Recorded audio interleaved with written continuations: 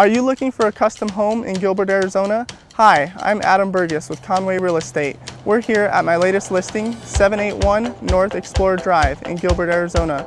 This home features six bedroom, three bath, and a six car garage. Come on inside, let's take a look.